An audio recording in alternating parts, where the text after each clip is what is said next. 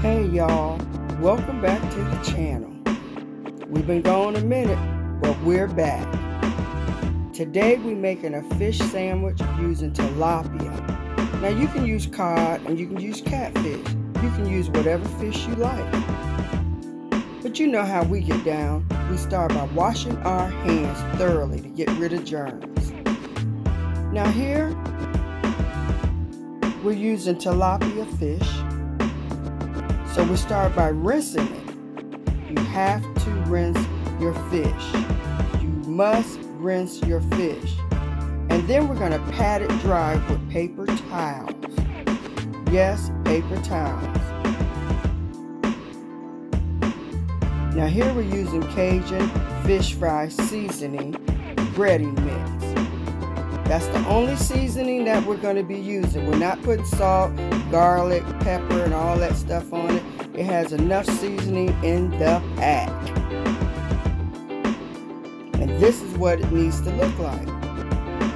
Now here we have our butter that we're going to spread over our buns. We're using sourdough buns, but you can use any bun or bread that you like of your choice. Next, we're going to use that olive oil.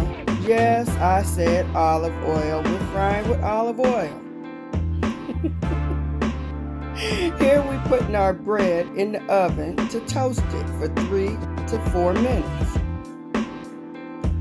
Now our skillet has warmed up with the olive oil and we're going to place our fish three minutes on each side until golden crispy brown.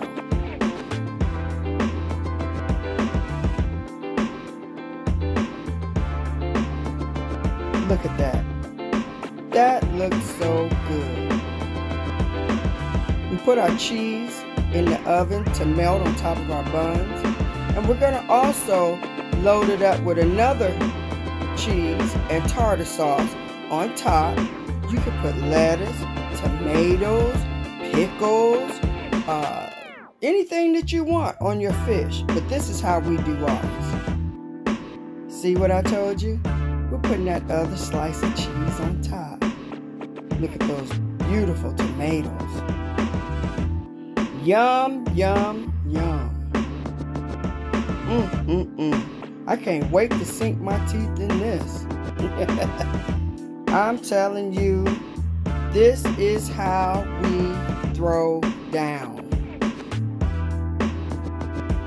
I'm gonna have my tasters come and try it out and see how they like it. Come on, Andrew and Lily. Give it Cheers. a try. Ooh. Hey, hey, hey. Mm. Hot. Mm-hmm. But delicious.